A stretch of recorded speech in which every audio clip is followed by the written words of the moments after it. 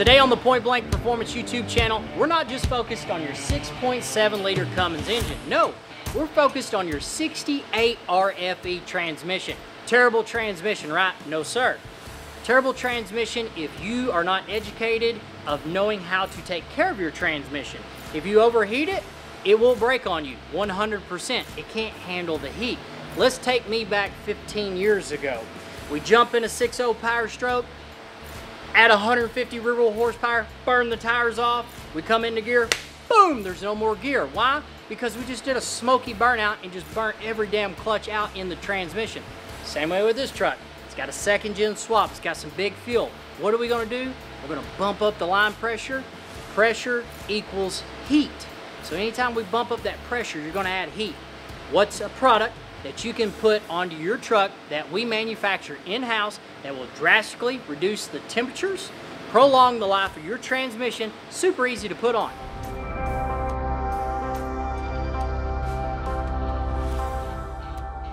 If you're a fan of the YouTube channel, you already know what I'm talking about, the thermal bypass. A couple weeks ago, I showed you guys how to install that on your 13 to 18 Dodge Ram. Miss the video, check it out here.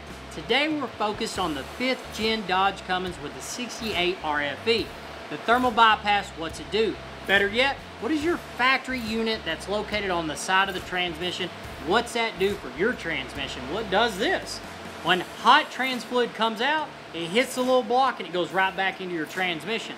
That's right, it's got a thermostat inside of it. If this thermostat were to stick and stay closed, it would take transmission fluid, route it out, and route it right back to it. This is all it would do. Hot fluid would just keep coming right back to it.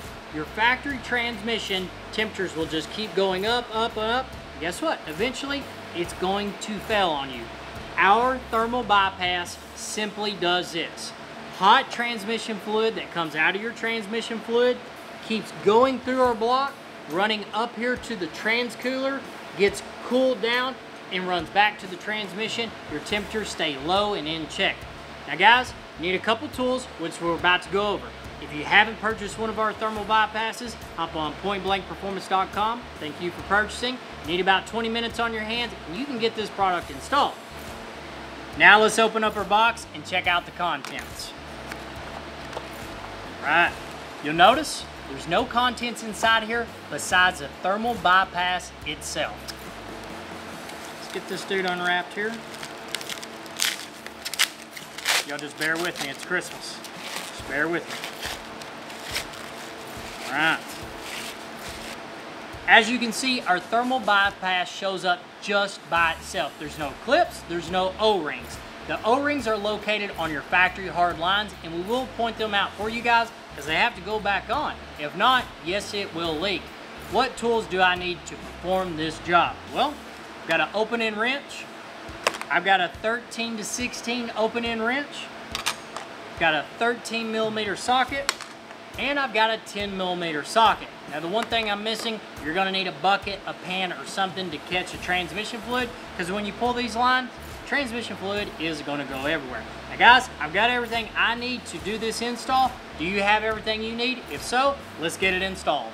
So we got our transmission fluid draining. We're ready to install our thermal bypass. But before we do that, we need to locate four O-rings on our factory hard lines so that way we don't have a leak.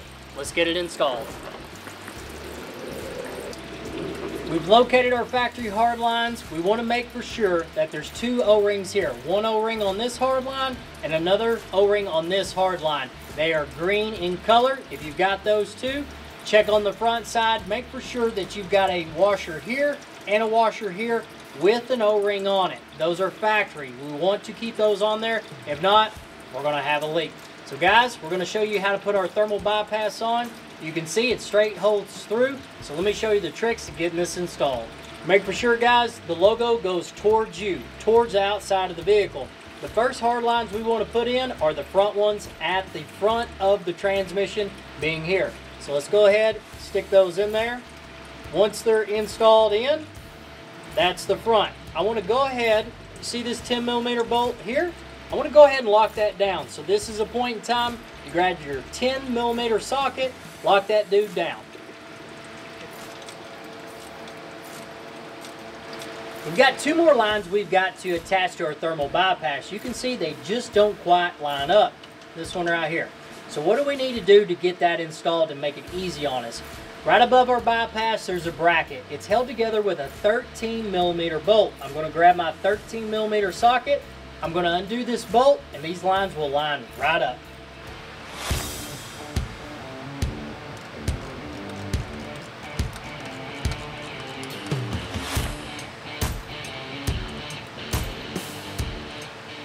So now that we've got our bolts out of our bracket, we're going to let this thermal bypass just relax down.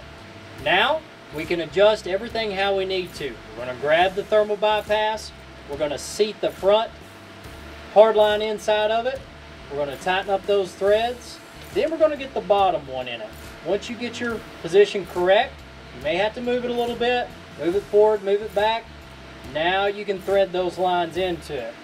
So you just push, make for sure that the O-rings are inside there. And it should move just this freely. Left and right, up and down, just like that. Now I'm going to grab my opening wrench and I'm going to tighten them a little bit more and we're going to set that bracket. So now I'm going to pick up my 1318 opening wrench and I'm just going to get these hard lines snug. So you don't have to get crazy with them. Support the thermal bypass and just start cranking down on them. You ain't got to get crazy. See here, flip it around, get it tight. Once we get these tight, then I'm going to show you guys how to set the bracket. So, get the threads ran up. Right now, I see two threads hanging out of the thermal bypass. Two, no more than three. Get them tight. Do not try to break the lines off. Just get them tight. Okay, so they're tight. Now we need to set this bracket. I'm going to show you what to do from here to finish the install. So now we've got to set our bracket, then we can go back in and tighten up the 10 millimeter bolt on the front and the two hard lines on the back. You can see I do not have this 10 millimeter all the way tight. The bracket will actually turn with me. So I'm really close. All I'm simply going to do is just barely tweak the bracket so I can put my 13 millimeter bolt. So I'm going to grab it. I'm just going to give it a little turn. That's it. You don't have to be super strong to do it. Grab your bolt, simply put it in there, line it up with the threads. That simple. Now we're ready to grab the 13 millimeter socket, tighten that dude up, and then we're going to move down here to the 10 millimeter socket.